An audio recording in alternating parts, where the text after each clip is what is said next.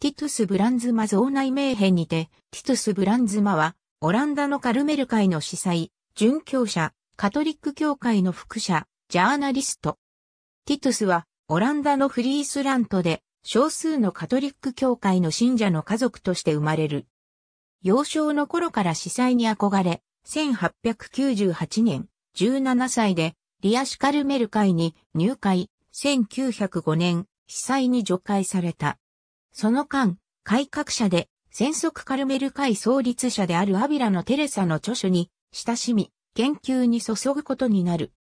1909年、ローマのグレゴリアン大学で哲学博士号を取得し、帰国後は教鞭を取り、1923年、内名編にカトリック大学の創立に協力し、また、ジャーナリストとしての才能を発揮しあらゆる分野で活躍をした。